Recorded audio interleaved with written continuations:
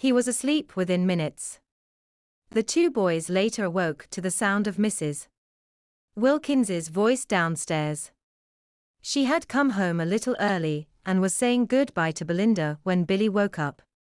Apparently, Belinda never said anything about their spankings because Mrs. Wilkins never asked nor did she refer to the fixed thermometers. For the rest of the summer, Billy and Johnny enjoyed Mrs.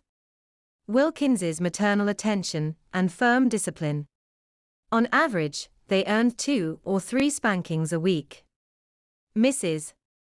Wilkins even spanked Billy a, a number of times by himself in the living room when he misbehaved. At times, the two boys even dared each other to do things knowing full well the consequence would be a joint spanking.